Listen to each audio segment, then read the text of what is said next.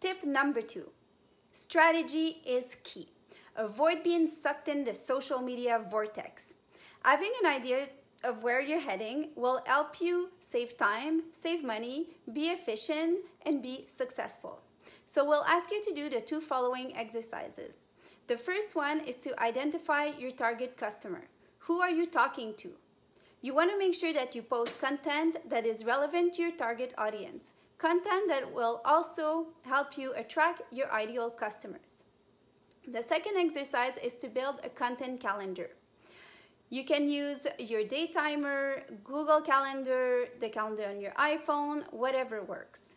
You start by adding the important dates for the month to come, like Mother's Day, Father's Day, Christmas, a long weekend, things like that.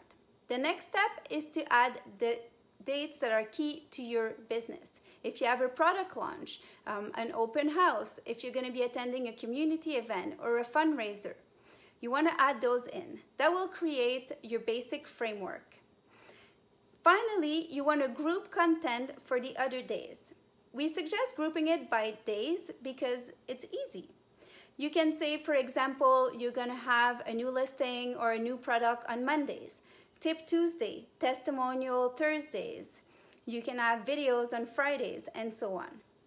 Then on your computer, you build folders where you will keep the information that's relevant to your topic, whether it's your videos, some images, some quotes, some notes, links to different blogs, things like that.